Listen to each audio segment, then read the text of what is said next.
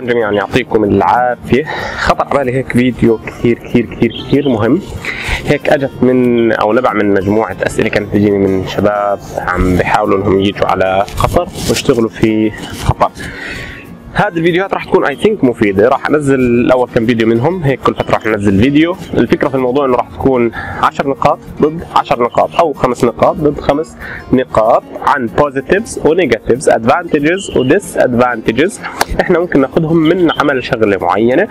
ومن الأسئلة اللي أجتني كثير إيش محاسن ومساوئ إنك أنت تشتغل في دولة قطر؟ بما إني أنا بشتغل في دولة قطر مهندس معماري في شركة استشارات هندسية. واشتغلت مع عدة شركات في دولة قطر عملت شوي freelancing في دولة قطر ويعني فتحت لحالي أكثر مجال أعطيت دورات في دولة قطر. so صار عندي شوي خبرة إني أنا أحكي لك شو محاسن ومساوئ إنك أنت تشتغل في دولة قطر. وهذا راح يكون منبع أو أول فيديو لمنبع. فيديوهات ممكن تكون من هذا القبيل 10 versus 10 أو 5 versus 5 إيش المحاسن والمساوئ؟ advantages و disadvantages likes و dislikes لا شيء إحنا ممكن نكون انسالنا عنه فخلينا نبلش.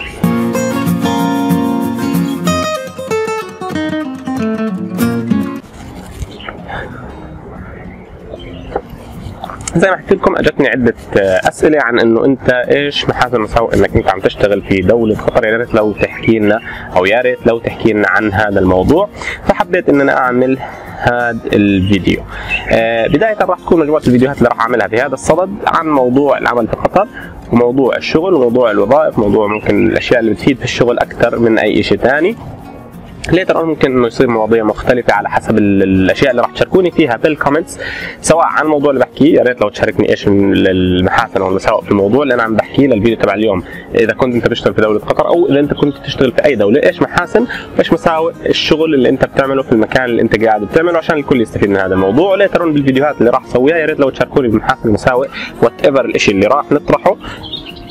و in case حبيت إنه نحكي أو نطرح موضوع معين لحتى إنك أنت تقدر تعرف إيش محاسنه وإيش مساوئه فشاركني فيه برضه بال comments أو بعث لي إياه سواء على الإنستغرام أو على الفيسبوك أو على ال comments الموجودة تحت هذا الفيديو. خلينا ما نطول أكثر من هيك وخلينا نبلش.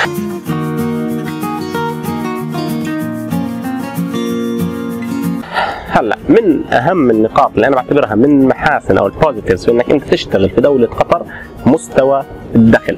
لأنه مستوى الدخل في دولة قطر أعلى من أي دولة ثانية specially إذا أنت عرفت تسوق لنفسك وعرفت to hunt the the the أو the perfect job opportunity بالنسبة لك إنك أنت تحصل على الوظيفة المهمة بالنسبة لك أنت واللي بتاخذ فيها الدخل اللي أنت بهمك انت.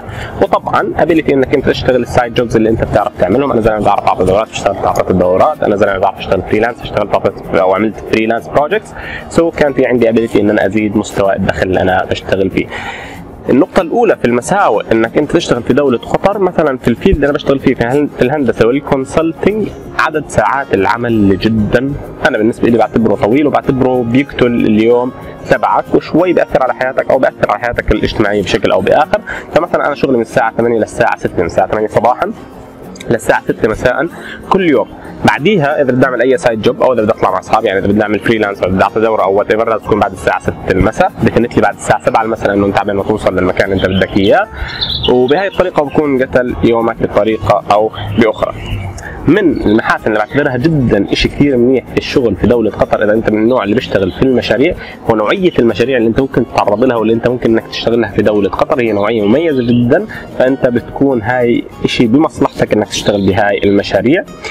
على ال part الثاني أو خلينا نحكي المساوئ اللي related شوي لنوعية المشاريع اللي هو ضغط العمل. ضغط هائل جدا حكينا على ساعات كثير طويلة لكن برضه ضغط العمل خلال هاي الساعات اللي طويلة اللي أنت بتشتغلها هو ضغط كبير specially إذا كنت بتشتغل في ال private sector فهو ضغط عمل كبير لأنه بهمهم إنه يخلص المشروع بطريقة جدا صحيحة 100% وما يكون في أخطاء قدر الإمكان. related للمشاريع إذا أنت برضه بتشتغل في المشاريع فحجم المشاريع اللي موجود في دولة قطر هو حجم هائل. مش بس من ناحية العدد هو من ناحية ال project itself بيكون مشروع كثير كبير. lately آخر مشروع عم بشتغل فيه مساحته 500 ألف متر مربع وفي 72 مبنى. so الفكرة في الموضوع أنت بتشتغل في خلينا نحكي حجم مشاريع مش موجود في المكان أو في البلد اللي أنت بتشتغل فيها. مثلا في الأردن إحنا ما عندنا الحجم هذا الكبير من المشاريع أو ممكن يكون موجود لكن بعدد أو خلينا نحكي frequency تكرار هذا المشروع كثير قليلة. الشيء ال related المشاريع برضه اللي أنا بعتبره كثير ممكن تتعرض له إذا كانت الشركة عندك فيها سوء إدارة في بعض الشركات الخاصة، إذا كان في سوء في الإدارة في بعض الشركات فسلامتك يعني. أنت بتكون بتعاني في ال projects اللي بتشتغل فيهم.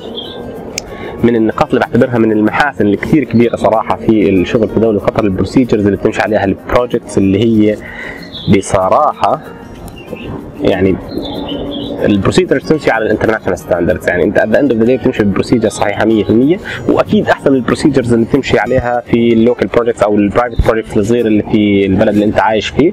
آه، لأنه هون بهمهم الموضوع بشكل كثير كبير وخاصة إذا كانت المشاريع اللي انت involved فيها هي مشاريع حكومية. أنا معظم المشاريع اللي اشتغلت فيها هي مشاريع related للحكومه أو تحت الحكومة أو الحكومة هي client لإلي كانت في هاي المشاريع. so كانت ال procedure اللي بمشي عليها definitely لازم تكون international standard أو international procedure من النقاط اللي بعتبرها صراحة من المساوئ في إنك أنت تشتغل في المشاريع مرات في آه، في البلد هون إنه تقلبات الآراء لل stakeholders تقلبات الآراء لل stakeholders اللي هم أصحاب القرارات في الأماكن اللي أنت ممكن تكون تشتغل فيها. خاصة إذا أنت اشتغلت مع واحد منهم لفترة طويلة وكان موافق على المشروع والامور 100% وأنت ماشي وقربت تخلص وبدك تسلم و at end of the day تغير الشخص المسؤول عن اتخاذ القرار بخصوص هذا المشروع، إذا تغير سلامتك 90% أنت بدك ترجع تعيد الشغل وإذا تمنح إنه بدك تعيد الشغل فأنت بدك تعيد الشغل. يعني ما في أي سبب أو ما في أي آه، طريقة ثانية إنك أنت ما تقدر أو إنك أنت تقدر إنك أنت ما تعيد الشغل. من الأشياء اللي كثير مفيدة كمان من العمل في دولة قطر إنه كل شيء راح يكون على الموظف literally كل شيء أنت راح تعمله. so أنت راح تتعلم بشكل كثير كبير وبشكل كثير سريع انك أنت تعمل كثير أشياء في الشغل تبعك. النقطة الخامسة في المساوئ اللي أنا برضه بدي أحكيها إنه برضه كل شيء على الموظف أنت راح تعمل كل شيء راح تعمل أكثر من ال job description تبعك. فبرضه هاي من المساوئ. مش بس من المحاسن المحاسن إنك حتتعلم الأشياء اللي أنت ما كنت متعرض لها لكن مساوئ إنك أنت راح تاكل هوا بالشغل إنك حتعمل كثير أكثر من شغلك. هلأ أنا وصلت للنقطة الخامسة وحاسس إنه الفيديو صار طويل. إذا شفتوا أنا عم بعمل editing للفيديو إنه صار طويل فراح أقسمه ل two parts وفي ال part الثاني راح أبلش من النقطة السادسة اللي راح ينزل المفروض في يوم ثاني غير اليوم اللي راح ينزل فيه هذا الجزء. so, إذا كان الفيديو طويل فالجزء الثاني هلأ بلش في الفيديو تبع المحاسن والمساوئ للعمل في دولة قطر وخد إن شاء الله إنه يكون الفيديو مفيد وإن شاء الله إنك أنت تستفيد منه. وان شاء الله أشوفك قاعد تشتغل معي هون في دولة قطر وماخذ positions اللي أنت بدك إياها وزيادة. شكرا لكم يعطيكم ألف عافية. أشوفكم في الفيديو الجاي. إذا شفت إنه هذه الفيديوهات مفيدة يا ريت لو تعطينا في ال comments رأيك ويا ريت لو تحكي لي عن المحاسن والمساوئ إذا كنت تشتغل في دولة قطر فهي المحاسن والمساوئ في الشغل أو الشغل اللي أنت بتعمله في دولة قطر في دولة ثانية أعطيني المحاسن والمساوئ في الدولة اللي أنت بتشتغل عليها. وأعطينا رأيك في هذه الفيديوهات واحكي لنا إيش ممكن إنه إحنا نطرح محاسن ومساوئ في فيديوهات ثانية ممكن تفيد الجميع. إذا الفيديو مفيد اعمل like اعمل share اعمل subscribe.